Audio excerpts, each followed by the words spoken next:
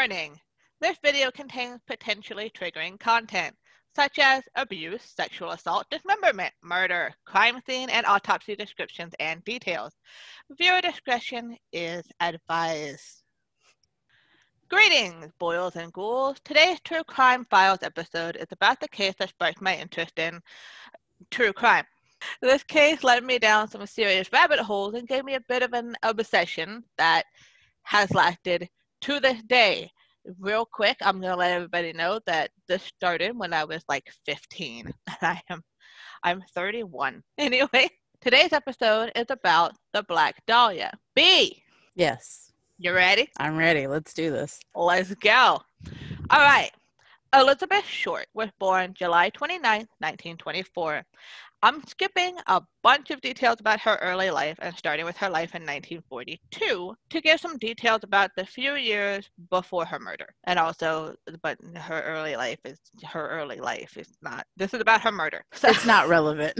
I mean, I'm sorry. That's kind of mean to say, but it's one of those things where it's just like this is about her murder, not her entire self. So in December of 1942, when she was 18, Elizabeth Short moved to Vallejo, California to live with her father. Hmm. Okay, there are a lot of things I have to pronounce in this that I might get wrong. Just warning everybody ahead of time. And I'm laughing because I'm nervous, not because I think murder is funny. So, yeah, she moved to Vallejo, California to live with her dad. However, Arguments between her and her father led to her moving out in January of 1943. Just a just a bit of background information there.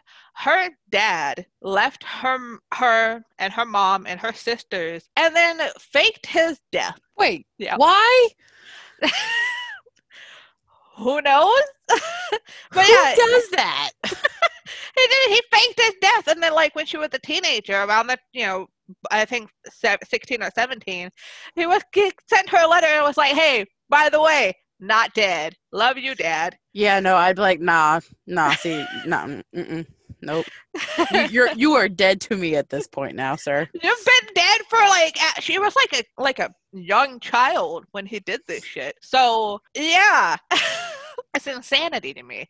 But yeah, he just came back and he was like, "Oh, by the way, not dead. I live in California. Come live with me." And she's like, "Okay, sure." And I'm over here like, "Why? Why would you?" But anyways, they argued a lot apparently, and I'm assuming it's because you know I feel like when parents um aren't in their child's life a lot, and their child becomes an adult and they start to reconnect, they they try to parent them again, which you can't do once they're an adult. Yeah, they tend to overdo it. Yeah, they yeah, they get mm, it's one of those things where it's just kind of like if you wanted to be a dad or a mom, you probably should have done that while they were a child. Just saying. So she she moved out. She then she took a job at the base exchange at Camp Cooke, now known as the Vandenberg Air Force Base near Lompoc living with several friends, and for a short time with an Army Air Force sergeant who was allegedly abusive with her. She then left Lompoc in 1943, moving to Santa Barbara, where she was arrested for underage drinking on September 23rd of that same year. I can't really blame her for it though.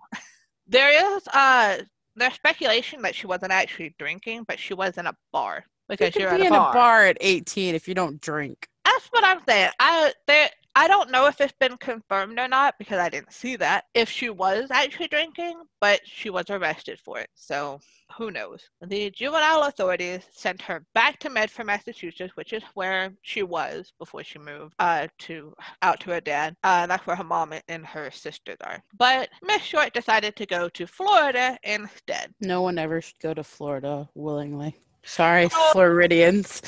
this was back in the 40s, where I'm pretty sure Florida was probably a bit more pleasant. Yeah, probably. To white people and no one else. True. Let's, let's be honest. She decided to go to Florida instead. In Florida, she met Major Matthew Michael Gordon Jr. That's a hell of a name. A decorated Army Air Force officer at the 2nd Air Commando Group. She told her friends that Gordon had written to propose marriage while he was recovering from injuries from a plane crash in India. She accepted, but Gordon uh, died in a second crash on August 10, 1945, less than a week before the surrender of Japan ended the war.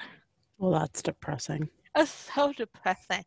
So, like, it would seem that her life is, is pretty rough in these years. She relocated to Los Angeles in July 1946 to visit Army Air Force Lieutenant Joseph Warden Fickling. Stop going for military guys. I'm telling you, lady.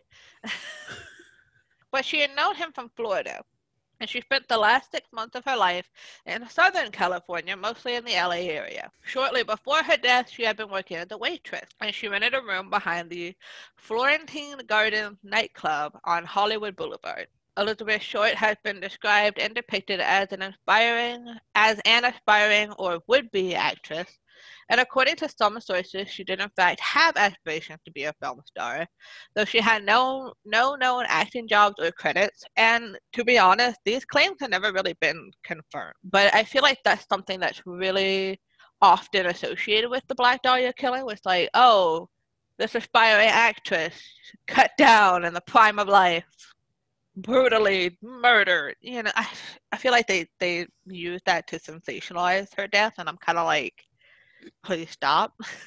I feel like that's just kind of rude to sensationalize people and their death. Oh, isn't it so tragic that this would-be actress died before she ever made it big? And I'm like, how about it just be tragic that she's brutally murdered? They don't care about the normal person. They have to be, you know, famous or up and coming. Or they have to be aspiring or exactly. Yeah. That's annoying. Uh, moving on. On January 9th, 1947, Elizabeth Short returned to her home in Los Angeles after a brief trip to San Diego with Robert, aka Red, Manley, a 25 year old married salesman she had been dating. And that's where it went wrong. If he killed her, then yes. or his wife. Who knows? Manley stated that he dropped her off at the Biltmore Hotel located at 506 South Grand Avenue in downtown LA, and that Miss Short was to meet her sister who was visiting from Boston that afternoon. Staff of the Biltmore recalled having seen Miss Short using the lobby telephone, and shortly after, she was allegedly seen at the Crown Grill Cocktail Lounge at 754 South Olive Street, approximately 0.4 miles away from the Biltmore Hotel. Now, this doesn't really have anything to do with the case, but interesting little tidbit. Apparently, the Biltmore Hotel is reportedly very haunted, and there are people who claim that they've seen Elizabeth Short there, you know, her ghost. I mean, if she was brutally murdered, are we surprised? Right. But then, like, the question then becomes I don't think she was murdered near the hotel. Unless she was killed in the hotel, which is a possibility because no one knows where she was actually murdered. We just know where her body was found. So it's a possibility still. It is a possibility. But yeah, people have reported seeing her like this long black dress and her black hair and she's very pale. She's very beautiful. And they're just like, oh, there she is. and I gotta be honest, I would like to go there one day, try to experience it for myself. Maybe talk to the people who work there and be like, hey, how haunted is this place? but that's that's for another day. Now, on to a grisly murder.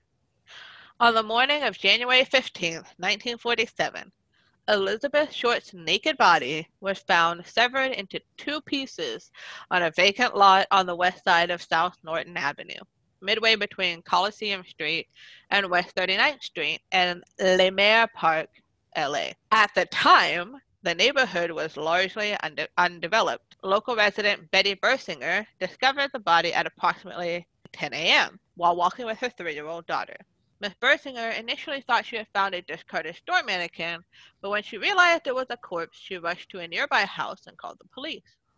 How do you mistake a human being for a mannequin? Okay, so the reason for that apparently is she was completely drained of all her blood, and so she was such a inhuman pale, you know, color like her skin was, that she didn't look real. That's morbid as hell. What? Wait. Where did you put the blood? What? I Where did you put the blood? I mean, that's a good question. Oh, just get just get ready for the autopsy report because it's oh, it's gnarly. Ah, okay. Elizabeth Short. This is just like how she was found at the scene, and uh, the autopsy report is after this. Elizabeth Short's severely mutilated body was completely severed at the waist and drained of blood, leaving her skin white as a sheet. Medical examiners determined that she had been dead for around 10 hours prior to the discovery, leaving her time of death either sometime during the evening of January 14th or the early morning hours of January 15th. Her body had apparently been washed by the killer, and her face had been slashed from the corners of her mouth all the way up to her ears, creating an effect known as the Glasgow smile. Oh, Some- oh, God. Oh, yeah? You, you uh, okay? oh, what? Oh, why? Why would you do that? That motherfucker was sadistic, yo. Also, for those out there wondering, um, the Glasgow smile, uh, people have also likened it to the Joker smile. She also had several cuts on her thigh and her chest, where entire portions of flesh had been sliced away what did this woman do to you to possess you to mutilate someone? To the, to the, yeah. It's just like, who hurt you?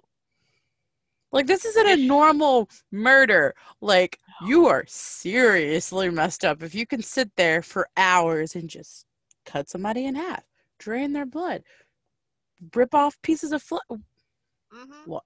What? Why? and that's just not just any flesh. Her her boobs uh, are just they were mm, yeah. but yeah, this person had to have been just messed the hell up to mutilate a body like that because why? What the hell? Why are you so angry? Uh, the lower half of her body was positioned about a foot away from the upper half, and her intestines had been tucked neatly beneath her bottom. How the, considerate of you. Right? Like, mm, thanks, I guess. The corpse had been posed with her hands above her head, her elbows bent at right angles, and her legs spread apart. So, because of the legs being spread apart, they immediately considered this to be a sex crime. The autopsy report. Elizabeth Short's autopsy was performed on January 16, 1947 by Frederick Newbarr, the LA County coroner. Newbarr's autopsy report stated that Short was 5 feet 5 inches tall, weighed 115 pounds, and had light blue eyes, brown hair, and badly decayed teeth.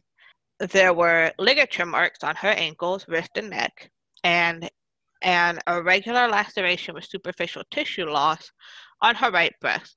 Newbarr also noted that superficial lacerations on the right forearm, left upper arm, and also noted, sorry, superficial lacerations on the right forearm, left upper, upper arm, and the lower side, lower left side of the chest. The body had been cut completely in half by a technique taught in the 1930s called a hemicorporectomy. I think I said that right. the lower half of her body had been removed by transecting the lumbar spine between the second and third lumbar vertebrae, thus severing the intestine at the duodenum. Newbarr's report noted very little ecchymosis, also known as bruising, along the incision line, uh, suggesting it had been performed after death, which is a small mercy. Another gaping laceration measuring 4.25 inches in length ran longitudinally from the umbilicus to the suprapubic region the lacerations on each side of the face, which extended from the corners of the lips, were measured at three inches on the right side of the face and two and a half inches on the left. Jeez. I know. This is this is gnarly. The skull was not fractured, but there was bruising noted on the front and right side of her scalp with a small amount of bleeding in the subarachnoid space on the right side, consistent with blows to the head. The cause of death was determined to be hemorrhaging from the lacerations to her face and the shock from blows to the head and face. Now, this is this is where I feel like I should be flashing the trigger warning sign because uh, you, you'll you'll know in a minute. Newbarr noted that Short's anal canal was dilated at 1.75 inches, suggesting she may have been raped. Samples were taken from her body testing for the presence of sperm, but the results came back negative. And here's the other thing. It mentioned earlier, I mentioned, sorry, earlier that her body had been washed. Her body had been washed, down, like wiped down with gasoline to destroy all evidence, which apparently uh, worked because they didn't find anything off of her. I, I can't with whoever did this, male, female. I, what is wrong with you? Who hurt you so badly that you did this to a poor, innocent girl? Right? Thank God he never. Wait, well, you know what? I I will fully admit that I know nothing of black about the Black Dahlia as you know a true crime nut i know nothing about this but i'm assuming this was only like a one and done we hope because there might have been other murders that they did but that it's the 40s so it's kind of not that easy to link them all true but it is highly suspected and and i will mention them a bit later so yeah she's mm-hmm. This, this poor woman. Now, yeah, the poor innocent woman, whether she was innocent or not, which uh, the media will, as I'll, blah, literally in like less than a paragraph or two, I will explain what the media did to sensationalize it. But it doesn't matter if she was innocent or not. She didn't deserve to die. Especially like this. Yeah. No one deserves to die like this. I don't care how horrible of a person you are. Nah, there there are humane ways to deal with the worst of society, and this ain't it. Prior to the autopsy, police had quickly been able to identify the victim as Miss Short after sending copies of her fingerprints to Washington, D.C. And the prints matched those given by uh, by Miss Short during her 1943 arrest you know, you know, for underage drinking. Alleged alleged underage drinking, which I mean, it's kind of what you know in retrospect a good thing to happen because they identified her pretty quickly. The good thing to come out of this. yeah. Immediately following her identification, reporters from William Randolph Hearst Los Angeles Examiner contacted her mother, Phoebe Short, and now here's a really fucked up thing they did. They told her that her daughter had won a beauty contest they got as much personal information as they could about Elizabeth from her mom before they were just like, hey, by the way, I'm sorry to tell you this, but your daughter is dead. She's been murdered. Why would you do that? I I don't know. I mean, I guess they wanted to um they wanted the scoop and they wanted all this information about her so they could put out some sensational newspaper about the Black Dahlia tragic victim, which I mean, she was a tragic victim, but holy crap, people! Again, it's, I keep saying this, but it's true. It's the 40s. If that should happen today, that whoever, whatever reporter did that shit would be put on blast all over the internet. Oh, yeah, for sure. You don't do that shit these days. You shouldn't have done that shit back in the fucking 40s. But no. They wanted the information. I guess they felt like if they were like, hey, your daughter's been horrifically murdered. Can you tell us about her? they were probably worried that the mom, you know, her mom would be too upset to answer any questions, which is mm, that's not even that's not even the worst part. I mean, it is really bad, but it get it doesn't it doesn't get better. Uh, the newspaper offered to pay her airfare and accommodations if she would travel to Los Angeles to help with the police investigation. That was yet another ploy, since the newspaper kept her away from police and other reporters to protect its scoop. I'm angry. As you should be. Because her mom probably could have helped with the investigation. And they just were like, no, don't go there. We, we know we told you to come out here and help, but don't do it. what? The Examiner and another Hearst newspaper, the Los Angeles Herald Express, later sensationalized the case, with one article from the Examiner describing the black tailor suit Miss Short was last seen wearing as a tight skirt and a sheer blouse. The media nicknamed her as the Black Dahlia and described her as an adventuress who prowled Hollywood Boulevard. Ew. Additional newspaper reports, such as one published in the uh, Los Angeles Times on January 17th, deemed the murder a sex fiend slaying. What the hell is wrong with reporters? It's what? Ew. It's just gross. It's just gross. I, I left that in there so people would know how gross this is. Or God. was. Get a hobby.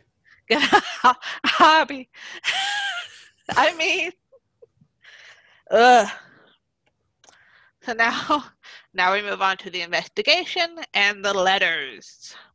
January 21st, a uh, 1947, a person claiming to be the killer placed a phone call to the office of James Richardson, the editor of the Examiner, congratulating him on the newspaper's coverage of the case, and stated that he planned on eventually turning himself in, but not before allowing police to pursue him further. Additionally, the caller told Richardson to expect some souvenirs of Beth Short in the mail. So, as soon as this case gets reported in the newspaper, a motherfucker is already calling up the examiner and being like, I did it. Where do people get off doing that? I never understood why people who don't commit the crime call and be like, hey, I did it, and make these police just work extra hard for what? Because you're an asshole? Like, come on, dude. Why are you like this? Who hurt you? that seems to be the com- that's probably going to be our most asked question during these cases. These you know these files that we go through is who hurt you? Do Why you need a hug? Do you need a hug? Why are you like this? Jesus Christ. Most of it is attention seeking. Most of it is uh the infamy. Yeah, they want to see their name or they want to be reported on, preferably anonymously, because if they gave their actual names and they didn't do it, they're going to jail for something they didn't do. But however, three days later, on January 24th, a suspicious envelope was discovered by a U.S. Postal Service worker. The envelope had been addressed to the Los Angeles Examiner and other Los Angeles papers, with individual words that had been cut and pasted from newspaper clippings because. Oh, they did that. Okay, yeah. See, I know about that part. Mm-hmm.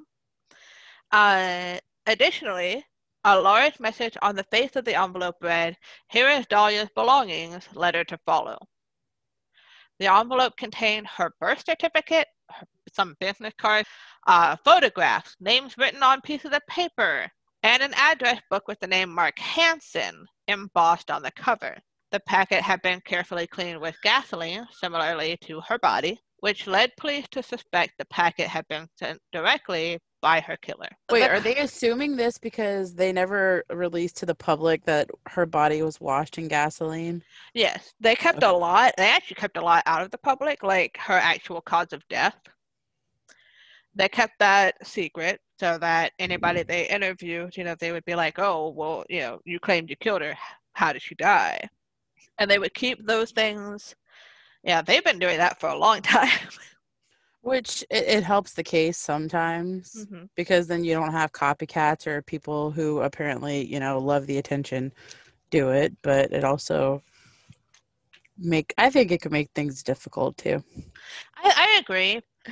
All right. Oh, so they're thinking that the caller was legit the killer because he was like, oh, well, you know, expect some souvenirs from her. Nah, nah, nah and they're sent this packet that's cleaned much like she was cleaned with the gasoline. And Hmm. yeah, so they're thinking, oh, this dude's definitely the killer. But in my mind, maybe maybe they weren't the killer. Maybe they were just an associate, or they were just someone who knows the gasoline cleaning trick. How common is that? I don't. Oh I yeah. don't- By the way, if you want to get rid of all the evidence, clean your body with gasoline. Wha- okay, hold on. Anybody who's listening to this, if you're a true crime fan and you're messed up in the head, please don't do this. don't. We do not advocate actual murders. Yes, no. Please, please don't kill people and use gasoline on a body, especially on the West Coast right now. Okay. We don't need you contributing to more fires, y'all. No. Jesus. Similar, uh, yeah, yeah, yeah, I already said all that.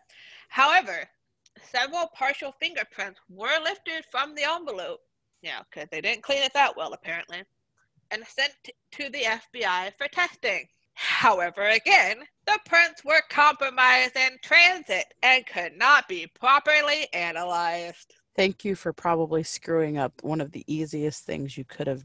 I But know. I know. Mm, Um, I, I so just for transparency's sake, my the, my entire script came from Wikipedia. Shut up, it's valid. And however, I did also watch uh, many, many documentaries and other people's videos about this to basically kind of cross-reference everything and uh, make sure everything was correct. But yeah, uh, what was I gonna say? Oh yeah, the um in one of the documentaries, an investigator like from today, it was either an investigator or a judge, sat there and said, if this case, if this murder had happened today, like in present time, it would have been solved, no oh, question. oh yeah. Like it would have been solved. It might have taken a couple of years, but it would it it would have been solved. and this is still technically an unsolved murder, y'all. This dude wasn't even that good of a killer. He really wasn't. He fucked up enough to where he tried to clean off his fingerprints. They still found fingerprints. They're shipping them off to the FBI. Whoopsies, compromised in transit. And I'm like, that could have that could have gotten them the killer. That could have done it. Now they do say that uh, somebody else, or maybe it was the same person, uh, sent in something and they took their fingerprints, or maybe it was fingerprints off her body. I'm not entirely sure where the finger. This was a different video. That's why I didn't write it down. But they did put any fingerprints they found that they could analyze. They put them in the system. There were no matches, so that's fun. However, if they had those fingerprints, if they had those fingerprints on file, they they had a lot of suspects. By the way, they could have, ran, you know, they could have ran those suspects' fingerprints against the finger. You know, they could have. They could have found the killer. This is a different time though. Like It's a we have to. different. It was almost a hundred years ago. Let let that sink in. This is almost a hundred years ago now. Oh God, this is like what eighty years. hmm Things have progressed since then. Like it's so easy now to catch someone. It's very hard to commit the perfect crime. You can't do this where it's like Jack the Ripper, the Black Dahlia, the Zodiac Killer. You can't have that anymore. No. so they fucked up the fingerprints. Of course they did. The same day, the packet was received by the examiner. A handbag and a black suede shoe were reported to have been to have been seen on top of a garbage can in an alley about two miles from where uh, Elizabeth Short's body had been discovered. The items were recovered by police, but they had also been wiped clean with gasoline. Shocker. Shocker! Destroying any fingerprint. Again, shocker. So this is somebody claiming credit for the Black Dahlia killing, and this is just kind of like a weird little incident here. On March 14th, an apparent suicide note was found tucked into a shoe in a pile of men's clothing by the ocean's edge at the foot of Breeze Avenue, Venice. The note read, To whom it may concern, I have wa- waited for the police to capture me for the Black Dahlia killing, but they have not. I am too much of a coward to turn myself in, so this is the best way out for me. I couldn't help myself for that or this. Sorry, Mary. The clothes included a coat and trousers of blue herringbone tweed, a brown and white Y shirt, white jockey shoes, tan socks, and tan moccasin leisure shoes, size about eight. The clothes gave no clue, zero clue about the identity of the owner. Also, I don't think the person who mutilated this woman would be a coward. I don't. I. Mm-mm. I'm too much of a coward to turn myself in, so I'm gonna kill myself instead.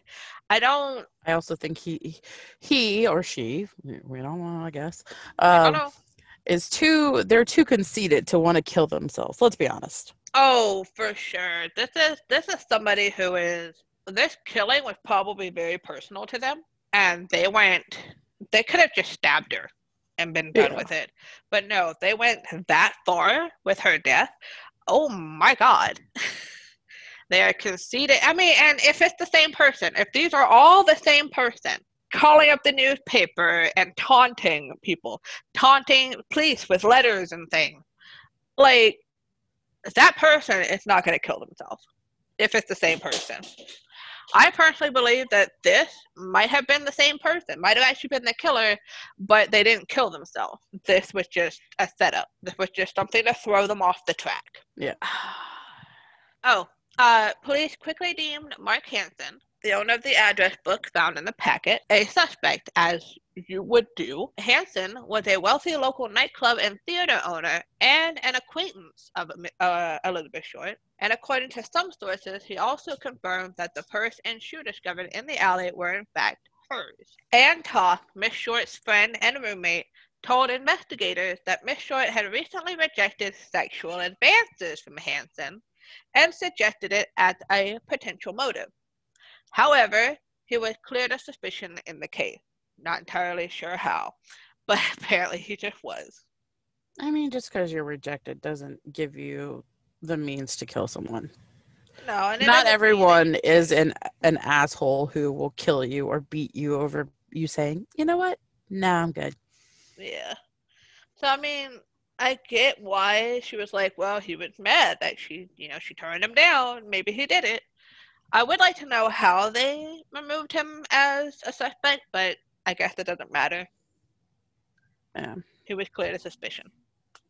In addition to Hansen, the Los Angeles Police Department inter- interviewed over 150 men in the ensuing weeks whom they believed to be potential suspects. 150 men. How many of them did she actually know? Red Manley, remember him? Mm-hmm. Yeah, he was the yeah he was like the last the married guy she was dating and the last person to see her alive or one of them. Uh, he was also investigated, but he was cleared of suspicion after passing many polygraph t- uh, tests, which I just want people to know. And, and I'm not sitting here trying to say he did it, but I just want people to know that polygraph tests don't mean shit. Yeah, you can fake those super easy. You can fake them and you can fail them. Oh yeah.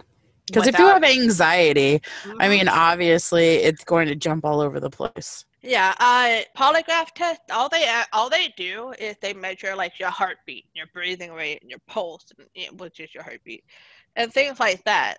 They don't. Hmm.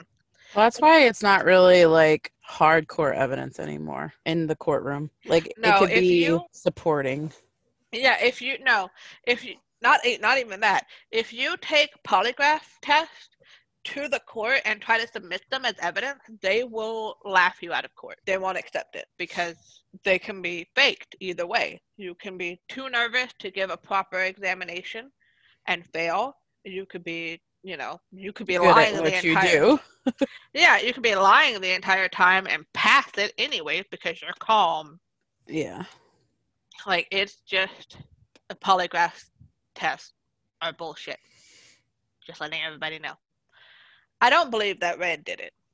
Police also interviewed several persons found listed in Hansen's address book, including a Martin Lewis, who had been another acquaintance of Short's, of Elizabeth Short's. Lewis was able to provide an alibi, however, as he was in Portland, Oregon, visiting his father-in-law, who was dying of kidney failure. So, here's just some like background, or not background information, but like just just to let you know how big this case was. A total of 750 investigators from the LAPD and other departments worked on this case during its initial stages, Jeez. including 400 sheriff deputies and 250 California State Patrol officers. Various locations were searched for potential evidence, including storm drains throughout LA, abandoned structures, and various sites along the Los Angeles River. But the searches yielded no further evidence because why would they? Let's just not catch a break in this case. City Councilman Lloyd G. Davis posted a $10,000, which is equivalent to $114,501 in 19 in 2019 That's reward. Insane. right?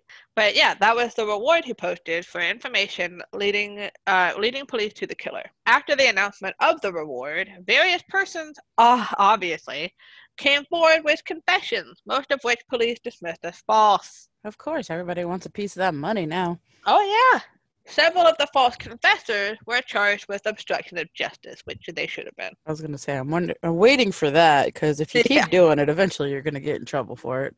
Of course. I mean, you are what you when you go in and you give a false confession, you are taking police's time and energy away from focusing on who the actual killer is. Yeah. and finding them and bringing them to justice. That is, ah, just don't. How about you don't? Uh, oh, on January 26th, yet another letter was received by the examiner. This time it was handwritten, which read, Here it is, turning in Wednesday, January 29th, 10 a.m. Had my fun at police, Black Dahlia Avenger. Why would you call yourself the Black Dahlia Avenger if you killed her? And it was handwritten. This one was handwritten, yes, So, which is big mistake. hmm but yeah, I just it really does weird me out when people when that he called himself that because it's it's if you were to avenge the Black Dahlia, you would be the person trying to find the killer hmm and dispense vigilante justice. One would assume. So if you're the killer, why did you call yourself the Black Dahlia Avenger? I don't understand you, person. I don't. I don't. I don't think I want to, but I. I just don't. I don't understand you, and I don't think I want to understand you. I just wish you were a normal person. none of these people are normal. No, not really. Uh, the letter also named a location at which the supposed killer would turn himself in. Police waited there on the morning of January 29th, but the alleged killer did not appear. Shocker. Instead, at 1 p.m., the examiner officers received another cut and pasted letter, which, what? You, you've, uh, you've already sent a handwritten letter. Why are you now sending a cut and pasted one? Because he find he realized he messed up. Probably. Uh, which read, Have changed my mind. You would not give me a square deal. Dahlia killing was justified. Which again, you cannot call yourself the Black Dahlia Avenger if you. Ne- never mind. Um, I could go off on that for days. So, the graphic nature of the crime and the subsequent letters received by the examiner had resulted in a media frenzy surrounding Elizabeth Short's murder. Both local and national publications covered the story heavily, many of which reprinted, reprinted sensationalistic reports suggesting that Miss Short had been tortured for hours prior to her death, which was not true. Yet police allowed the reports to circulate so as to conceal the true cause of death, cerebral hemorrhage, from the public, which I, f- like we said, or we talked about earlier, I feel like that can both help and hurt your case. You know, Yeah. you're when you when you allow the papers to just give whatever they want, you know, whatever theories they want and pass it off as fact, you are spreading misinformation and you're letting them spread misinformation. And that's just, mm, it doesn't sit right with me. No. You don't have to tell anybody what the actual cause of death was, but you could have come out and been like, hey, that's not true, which would have been simple to do. But instead, they were just like, oh, no, no, no, no, let's just be mm, assholes and peddle misinformation. Further reports about her personal life were publicized, including details about her alleged declining of Hansen's romantic advances. Additionally, a stripper who was an acquaintance of Miss Short's, told police that she liked to get guys worked up over her, but she'd leave them hanging dry. This You're led- a stripper. you do the same thing. I, I wasn't. I wasn't gonna go there, but like you do the same thing. I I feel like you're being a little accusatory towards this, this young woman here. Just a little. This now here's the. Here, hmm, this is just make, kind of makes you want to slap somebody. This led some reporters and detectives to look into the possibility that Elizabeth Short was a lesbian. Because she totally doesn't have a string of military guys that she was with before this. Or, or a married man. She was with a married dude. She's not a lesbian just because she doesn't want you, dude. I'm sorry. That's not how this works. Exactly. She ain't gay just because she don't want your D. But yeah, this made me want to slap somebody when I read it. And uh, Oh, yeah, they began questioning employees and patrons of gay bars in Los Angeles. This claim, however, remained un- unsubstantiated. Gee, I wonder why. Totally not because it's false. I mean, if, if she, even if she was, who? Well, yeah, even if she was, that has nothing to do with this. I mean, like, okay, say that she was gay or that she was a lesbian, and a guy hits on her. She says, haha, no. You know, she gets him all worked up and riled up and stuff. And then she tells him no, you know, because she's gay. Maybe she tells him she prefers women, or maybe she doesn't. Either way. And then that guy kills her. Mm-hmm. What does her being gay actually have to do with finding her killer? I'm, I'm just, I'm wondering. you find all the homophobes. Oh, wait, it was the 40s. Never mind. You find all the homophobes. You mean everyone? Everyone pretty much everybody sitting there just being like, "Oh, gay, huh? That's shocking and immoral." Shut up and go away. What's funny is that there are there were actually quite a bit of people who were just kind of like, "Okay, I don't give a shit," but it's the loudest people who are remembered. Mm-hmm. The Herald Express also received several letters from the purported killer, again made with cut and pasted clippings, one of which read, I will give up on Dahlia killing if I get 10 years, don't try to find me. On February 1st, the Los Angeles Daily News reported that the case had run into a stone wall with no new leads for investigators to pursue. The Examiner continued to run stories on the murder and the investigation, which was front page news for 35 days following the discovery of her body. Uh, when interviewed, lead investigator Captain Jack Donahoe told the press that he believed Elizabeth Short's murder had taken place in a remote building or shack on the outskirts of Los Angeles and her body had then been transported into the city where it was disposed of. Based on the precise cuts and, and dissection of her corpse, the LAPD looked into the possibility that the murderer may have been a surgeon, doctor, or someone with medical knowledge which makes sense when you know when when I read the autopsy report of how where she was severed at the spine. Yeah, it takes some skill to know how to do that. Yeah, it it's it was a clean cut. Especially so, and then they drained the blood. So, like, mm-hmm. it's very medical. It's not some just psychopath who is killing someone because those are always messy. This is very strategic. This is very clean. This is very well thought out. This would probably, and maybe not her actual murder, like the blows about the head. Mm-hmm. Maybe someone beat her because they were mad. But this, that whole part, the whole cutting her up and draining the body and then putting, you know, disposing her body and posing it afterwards, that all seems incredibly deliberate. Yeah. You know, incredibly planned out, incredibly like, you know, so the question becomes who who who killed her you know, were they somebody who knew her and got mad at her because she wouldn't put out, maybe, or for whatever other reason, and angrily attacked her? She ended up dying. Oh shit, what do I do?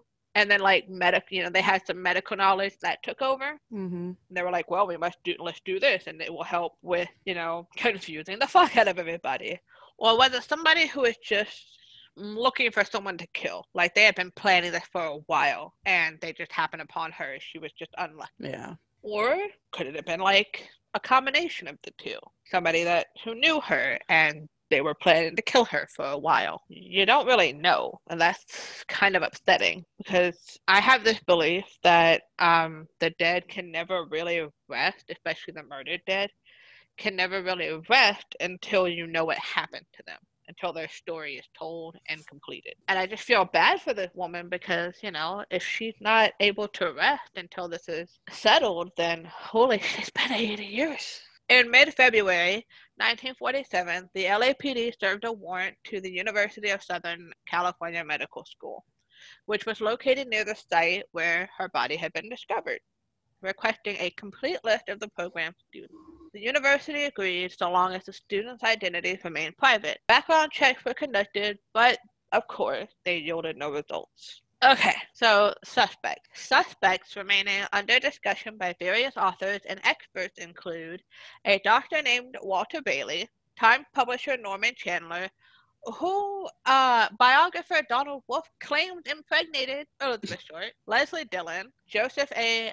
Dumais, Artie Lane, also known as Jeff Connors for some reason, Mark Hansen, Dr. Francis E. Sweeney, Woody Guthrie, Bugsy Siegel, Orson Welles, of all people, George Hodel, Hodel's friend Fred Sexton, George Knowlton, Robert M. Red Manley, Patrick S. O'Reilly, and Jack Anderson Wilson. Now, it's probably George Hodel out of all those people I've told you about, and I'll tell you why. Police came to consider George Hill Hodel, is it Hodel or Hodel? George Hill Hodel Jr. a suspect after the 1947 murder of Elizabeth Short. He was never formally charged with the crime and came to wider attention as a suspect after his death when he was accused of killing Miss Short and of committing several additional murders by his own son, who is LA homicide detective Steve Hodel. Now, here's the other thing. Uh, I listened to George uh, Hodel talk about this whole thing himself. Not George. I didn't listen to him. I listened to his son Steve. Sorry, I,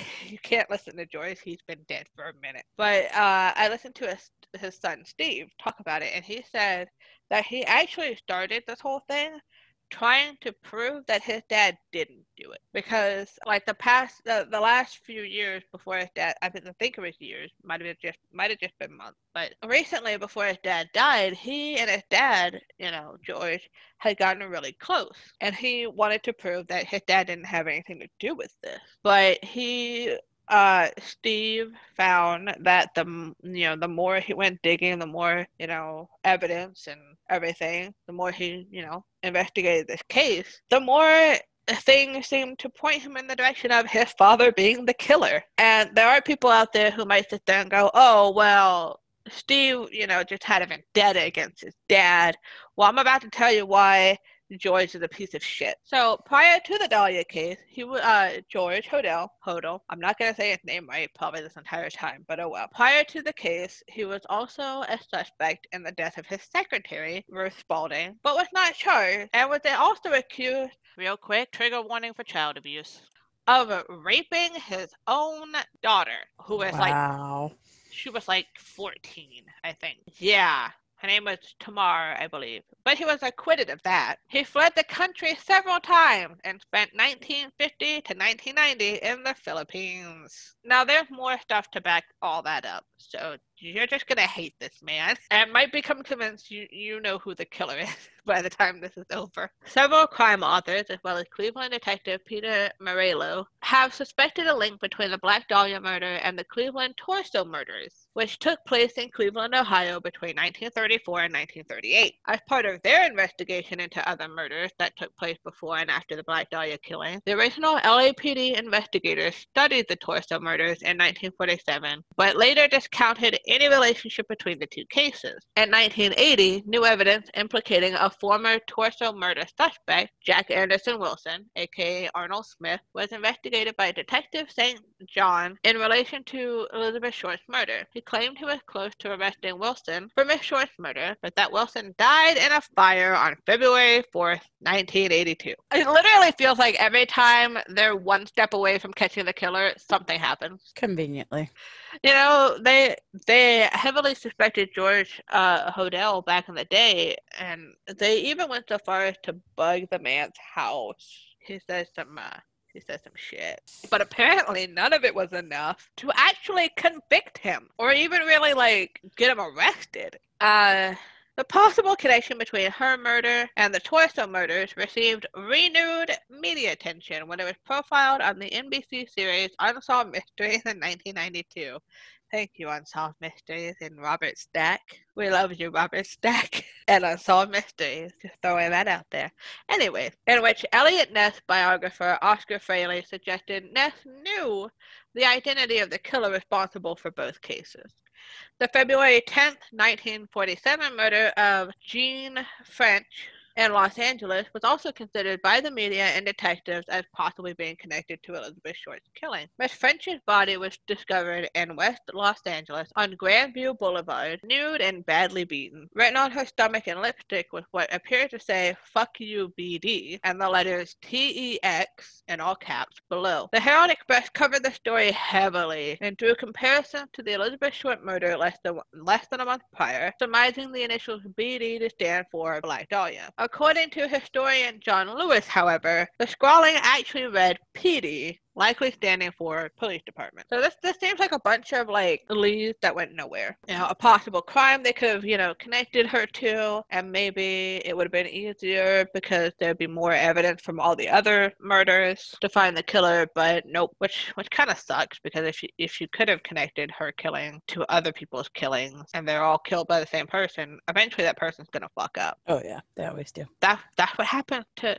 John Wayne Gacy, Ted Bundy, Dahmer, uh, BD, BDK? BTK. BTK, sorry. Uh, that's what happened to basically every serial killer we well, know no, about. that's not what happened with BTK. BTK got bored and kept sending letters to the police Oh. department.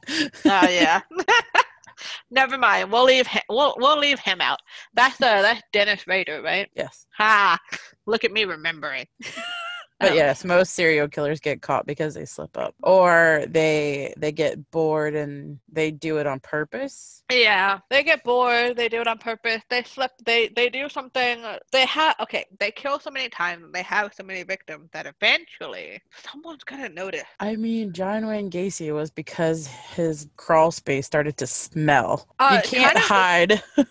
Well, kind of the same for uh Dahmer. Like his apartment fucking stunk. I It, mean, yeah. it smelled so bad, and he slipped up with one of his victims. They got away. They got away, Police, yep. Brought police back, and this motherfucker had like a big ass drum. I believe it was like a you know those big gallon drum hmm of acid hmm in his bedroom, just sitting there making people soup. That was gross. I grossed myself out with that. Yeah. Anyways, like so, I feel I like I like we were saying. I feel like if she hadn't just been a one-off, like if if it had killed her killer, he or she or they, whoever, if they had killed more people, if she could have been connected to other killings and confirmed that's all the same killer, I do feel like eventually they would have figured it out. But she may have been a one off. But there was a theory, and I, I don't think it's included in this. There was a theory that the person who killed her died very shortly afterwards, and everything else that's like everything that's been sent into the police and all that was a hoax or someone taking someone who knew the killer knew that the killer was dead and just tried to take credit for it. And it's not like the killer themselves can stop him. That's a theory, but I didn't. I'm not including that like as an actual theory theory because it feels more like a conspiracy theory. There's no evidence to back it up.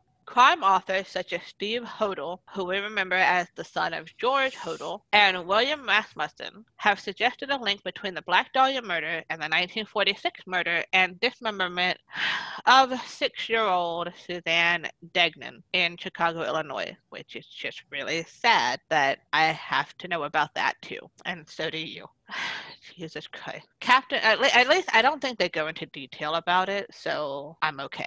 I don't do well with uh, children being murdered, I'm sorry, or dismembered. Uh, Captain Donahue, uh, Donahoe, sorry, of the LAPD stated publicly that he believed the Black Dahlia and the Chicago lipstick murders were likely connected. Among the evidence cited is the fact that Short's body was found on Norton Avenue, three blocks west of Degnan Boulevard. Uh, Degnan Boulevard being named after the little girl. There were also striking similarities between the handwriting on the Degnan ransom note and that of the Black Dahlia Avenger. Both texts used a combination of capitals and small letters. The Degnan uh, note read in part, burn this for her safety, always like alternating lowercase and uppercase. And both notes contain a similar misshapen letter P and have one word that matches exactly. Convicted serial killer William Heirens served life in prison for Degnan's murder. Initially arrested at 17 for breaking into a residence close to that of Degnan, Heirens claimed he was tortured by police, forced to confess, and made a scapegoat for the murder. I'm sure you were, buddy. I mean, that did happen, but at the same time, I don't know who to believe.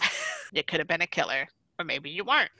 After being taken from the medical infirmary at the Dixon Correctional Center on February 26, 2012 for health problems, Heirens died at the University of Illinois Medical Center on March 5, 2012 at 83. Additionally, Steve Hodel has implicated his father, George Hodel, as Short's killer, citing his father's training as a surgeon as circumstantial evidence. In 2003, it was revealed in notes from the 1949 grand jury report that investigators had wiretapped Hodel's home and obtained recorded conversations of him with an unidentified visitor saying, Supposing I did kill the Black Dahlia. They couldn't prove it now. They can't talk to my secretary because she's dead. Why would you say that? and he says this to an unidentified someone who visited in his home. He's just like, "Yeah, maybe I did kill her, but they can't prove it because I also killed my secretary." Essentially, that's what he said. I mean, uh, it. I know this video is probably pretty long, but if y'all remember, earlier he was suspected of his secretary's death. Like, hmm, makes sense to me. If you're the killer, you're also gonna kill maybe a witness or somebody who knows something. You're gonna mm get rid of them too. Like, Jesus Christ. In 1991, Janice Knowlton, a woman who was 10 years old at the time of Short's Wait, also, I, I forgot something real damn quick. I forgot another thing that they recorded him saying it was believed that he was like being zeroed in on, like they were going to arrest him. And then all of a sudden they just backed off and they just said, nah, never mind. And he said something around that same time about how he'd uh he'd like to make a connection in the DA's office. So it's it's very widely believed that he bribed him. He bribed somebody to make it all go away, which kind of also makes you wonder if maybe he did it. Or, you know, because I feel like if you're an innocent man and the police are hounding you for a for a murder you did not commit, I feel like event well, maybe not, because that other dude might not have been guilty of uh, that little girl's murder and he was put in jail. So maybe paying off the police is the only way, or the DA is the only way to make it all go away if you're innocent. But it also kind of makes you look a bit suspicious. I'm just saying, y'all. So moving on. In 1991, Janice Knowlton, a woman who was 10 years old at the time of, of Elizabeth Short's murder, claimed that she witnessed her father, George Knowlton, beat Short to death with a claw hammer in the detached garage of their family home in Westminster. She also published a book titled Daddy was the Black Dahlia Killer in 1995, in which she made additional claims that her father also molested her. The book was condemned as trash by Knowlton's stepsister, Jolene Emerson, in 2004, who stated, She believed it, but it wasn't reality. I know because I lived with her father for 16 years, which I feel like that's very invalidating because you could live with someone and how many wives of serial killers and rapists and murderers lived with them and didn't know a damn thing until the police came and got them?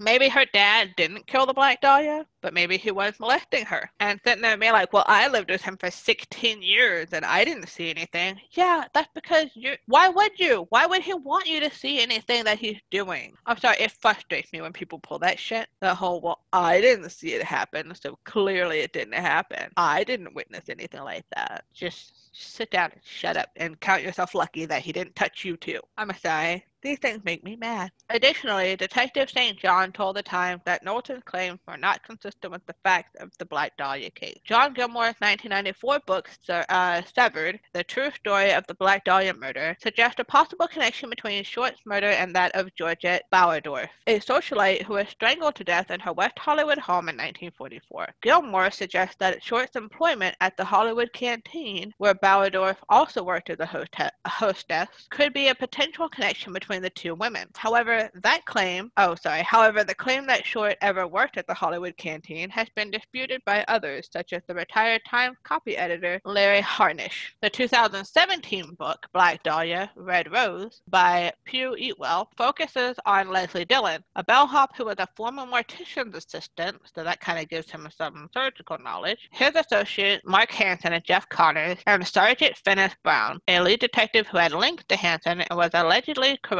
Oh yeah, that's something I meant to mention earlier. It is known that in the 40s and like 50s, and probably for quite a few more decades afterwards, that the LAPD was widely corrupt. Like you're, we're talking about uh, cops who would take suspects out out of the police station, or just do it in there too, beat the shit out of them until they confessed.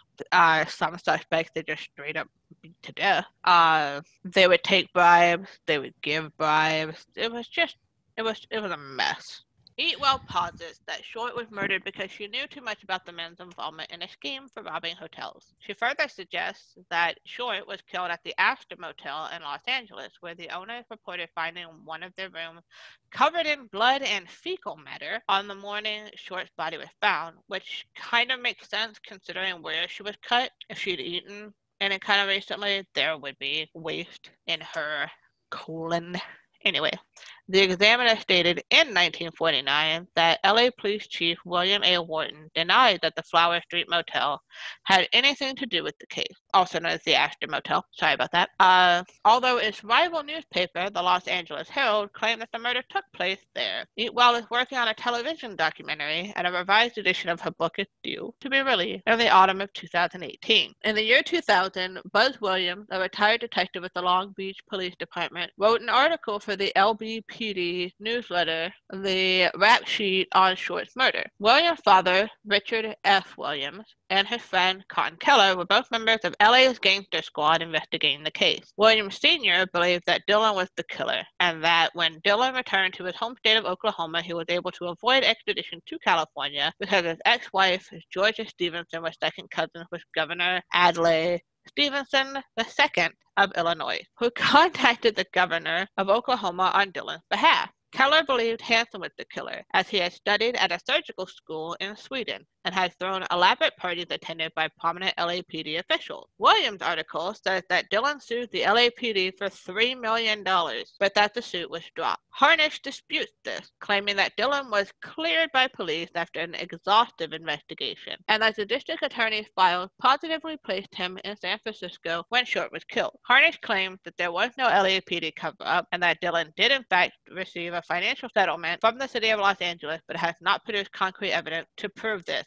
Numerous details regarding Short's personal life and death have been pointed to public dispute. The eager involvement of both the public and press in solving her murder have been credited as factors that complicated the investigation significantly resulting in a complex, sometimes inconsistent narrative of events. According to Anne-Marie DiStefano of the Portland Tribune, many unsubstantiated stories have circulated about Short over the years. She was a prostitute, she was frigid, she was pregnant, she was a lesbian. And somehow, instead of fading away over time, the legend of the Black Dahlia just keeps getting more convoluted. Harnisch has refuted several support, uh, several supposed rumors and popular conceptions about Short and her murder, and also disputed the validity of Gilmore's book Severed, claiming the book is 25% mistakes and 50% fiction. Harnisch also had examined the district attorney's files. He claimed that Steve Hodel, Hodel has examined some of them pertaining to his father, along with Time columnist Steve Lopez. And contrary to Eatwell's claims, the files show that Dillon was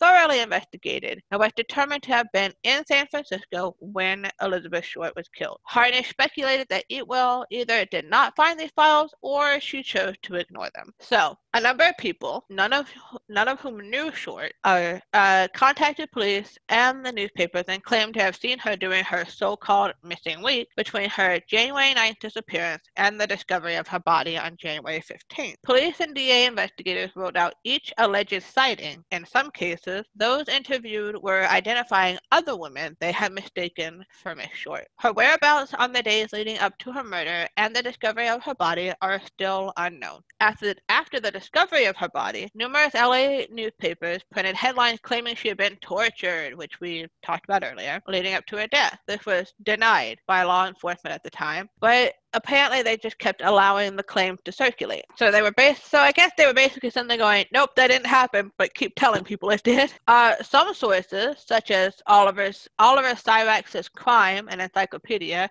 state that Short's body was covered in cigarette burns inflicted inflicted on her while she was still alive, although there is no indication of it in her official autopsy report. Uh, in Severed, Gilmore states that the coroner who performed Short's autopsy suggested in conversation that she had been forced to consume fecal matter, you know, based on his findings when examining the contents of her stomach. This claim has been denied by Harnisch and it's also not indicated in her official autopsy either, although it has been reprinted in several print and online media. So people are basically just coming out of left field with a bunch of random shit about her, what happened to her, none of which seems to tie into the actual autopsy report. And it's just kind of like it's almost to me it's almost as bad as the people who claim you know who do false confession because it's like you're not helping you're not helping at all you're just hindering the fucking investigation by throwing out all this random crap that you don't even just because you think it's what happened doesn't mean that it's the truth. Stop trying to present it as fact. Ugh. So, uh, it's just some interesting information about the name the Black Dahlia name. According to newspaper reports shortly after the murder, uh, she received the nickname Black Dahlia from staff and patrons at a Long Beach drugstore. In mid in mid 1946, as wordplay on the film The Blue Dahlia. Other popularly circulated rumors claim that the media crafted the name due to her adorning her hair with dahlias. According to the FBI official website, she received the per- the first part of the nickname from the press for her rumored penchant for sheer black clothes. Prior to the circulation of the Black Dahlia name, Short's killing had been dubbed the werewolf murder by the uh, Herald Express due to the brutal nature of the crime. And so we also have um, She's got alleged prostitution and sexual history. Many true crime books claim that she lived in or visited LA at various times in the mid 40s, including Gilmore Severed, which claims she worked at the Hollywood Canteen, which again was not proven, and in fact, I believe it was entirely disputed. Yeah, this is disputed by Harnisch, who states that Short did not, in fact, live in LA or Los Angeles until after the canteen's closing in 1945. Although some of her acquaintances and several authors and journalists described Short as a prostitute or call girl during her time in LA, according to Harnisch, the grand jury proved that there was no existing evidence that she was ever a prostitute. Harnisch claims that the rumors regarding Short's history as a prostitute originates from John Gregory Dunne's 1977 novel True Confessions, which is based in part on the crime. Another widely circulated rumor, sometimes used to counter claims that she was a prostitute, holds that she was unable to have sex because of a congen- congenital defect that resulted in gonadal dysgenesis, also known as infantile genitalia. Los Angeles County District Attorney's files state that the investigators had questioned three men with whom Short had engaged in sex, including a Ch- Chicago police officer who was a suspect in the case. FBI files on the case also contain a statement from one of Short's alleged lovers. Short's autopsy itself, which was reprinted in full in Michael Newton's 2009 book, The Encyclopedia of Unsolved Crimes, notes that her uterus was small. However, no other information in the autopsy is provided that would suggest her reproductive organs were anything other than anatomically normal. Jesus Christ, they just would not leave this per- this woman alone in any part. The autopsy also states that Short was not and had never been pregnant, contrary to what had been claimed prior to and following her death. Another rumor that Short was a lesbian has often circulated, according to Gilmore. This rumor began after Bevo Means of that's a hell of a name. Bevo Means of the Herald Express was told by the deputy coroner that Short wasn't having sex with men due to her purportedly small genitalia. Means took this to mean that Short had sex with women, and both he and reporter Sid Hughes began fruitlessly investigating gay bars in LA for further information which never proven. So pointless time wasting on your part there, my dude.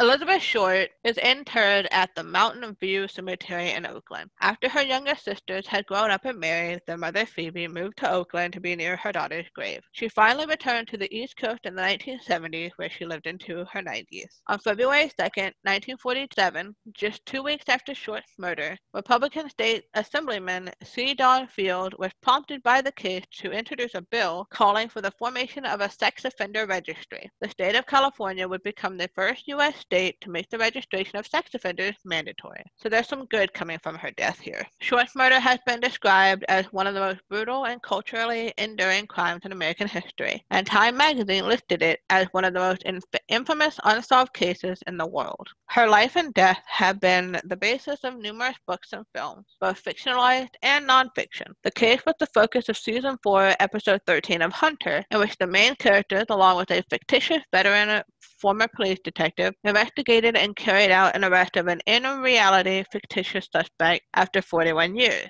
Elizabeth Short was portrayed here by Jessica Nelson. Among the most famous fictional accounts of Short's death is James Ellroy's 1987 novel The Black Dahlia, which, in addition to the murder, explores the larger fields of politics, crime, corruption, and paranoia in post war Los Angeles, according to the cultural critic David M. Fine. Ellroy's novel was adapted into a 2006 film of the same name by actor Brian De Palma. Short was played by actress, actress Mia Kirshner. Both the novel and the film adaptation bear little relation to the facts of the case, however. Short was also portrayed in heavily fictionalized account by several other people, and she was also she had like a bit of a cameo in American Horror Story in 2011, and yeah, she was in there in the episode Spooky Little Girl, and again in 2018 with Return to Murder House. So you know she had kind of a shitty life, and she died horrifically and was brutalized after her death. But at the very least, some good did come out of her death you know, because the sex offender registry was created more or less because of her. And I think that that's a huge win, even if she is not alive to see that win. I think it's a very tragic story, very, very brutal. And I I personally believe that George Hodel most likely is the killer. But until it's confirmed or properly denied, I don't think we'll ever know. How do you feel? Any hmm. closing thoughts? Um, yeah, I, I think I agree. I think that he did it. It seemed. I mean, he he pretty much said came it. out and said it. Even if I don't know, maybe he was an asshole and he knew he was being bugged and he said it that way, or he had no clue and he thought it was safe to say it to some random person and you know, we'll never know. Dude's dead, but a random person who he probably also killed. Now, I could go into George Hodel a lot more, and eh, there is a lot. I didn't. I haven't even scratched the surface of the potential evidence that he did it, such as, and I'll just throw this in there, just because it's interesting, I guess. Their house that they lived in had a secret room I believe it was a basement room that they weren't allowed to go into. So, I mean, and and if he did kill his secretary, who even know what she did to him? And it doesn't help answer the question of what the fuck could Elizabeth Short have done to warrant that. Oh, there was also um there's so much. There is so much I could tell you about, but this video is very long. Uh if y'all want us, me, us, whoever, to go into more details about George uh Hodel and what his son found and what you know the children remember, let us know. We may do that. And uh, you know, cause why not? There I'm not kidding, there is so much more about possibility of George Hodel being the killer that once you see it all and hear it all, it's really hard to ignore it. But for now, I am closing this case file. I hope everyone has enjoyed it. If I have uh, gotten anything wrong, I'm sorry. I'm just going off of my sources and what I've read so far. There's so much more information out there. I encourage everyone to do their research. But for now, we're saying goodbye. And we hope y'all enjoy this. We hope that, you know, it wasn't too bad for y'all out there because there were some parts that were difficult to stomach, even for me, the person who wanted to do this video. But yeah, we hope y'all have a lovely day. Please subscribe if you like our content and want to see more like it. Feel free to comment down below, like a case you want to see us do. You know, like the video if you like it. If you don't like it, then, you know, I guess you could dislike it. That's fine too. But uh, goodbye for now and stay spooky.